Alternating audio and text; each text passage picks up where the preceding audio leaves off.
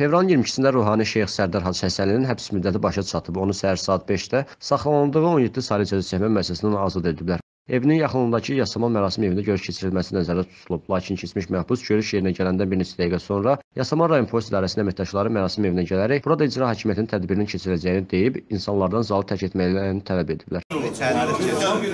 Qardaş, xahiş edirəm. Başa düşdüm. Başa deyirəm gəlin. Bir ay qabaqdan Gəlin də qardaş, xahiş edirəm. Sizdən xahiş edirəm, sizdən keçin. Qardaşlar, xahiş edirəm, sizdən zalı tərk edin. Xahiş edirəm. Xahiş şeyxi görmək istəsə gəlib evdə görüb Bağış ediyorum. Oldu. Yok. Çok. Son dakika. Çok sağ ol. Yok gözlüğünü de onlar baharda gözlüğüyle. Başa düştük. Baharda gözlüğüyle. Başa düştükler de siz de.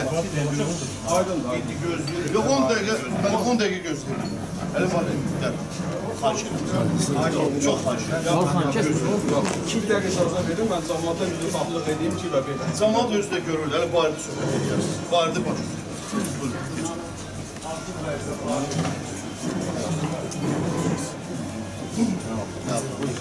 Qardaşlar, bağışlayın da yəni belə. Xatırlanır ki, Sərdar Hacı Həsənli Masallı rayon icra hakimiyyətinin başçısı Rafil Hüseynovun şikayəti əsasında polis tərəfindən saxlanılıb. İcra başçısı Rafil Hüseynov Şeyx Sərdarın ruhani fəaliyyətinə, xüsusilə yüzlərlə insanın önündə cümə namazı qıldığına görə polisə şikayət edib. 2017-ci ilin iyul ayının 3-də Masallı rayon məhkəməsindən Anar Almuradın sədrliyi ilə keçirilən prosesdə Sərdar Hacı Həsənliyə hökm oxunub. O 3 il müddətini azadlıqdan məhrum edilib. Hüquq müdafiəçiləri Hacı Həsənlinin namaz məhbusu adlandırıblar və həbsinin siyasi motivli olduğunu bildiriblər.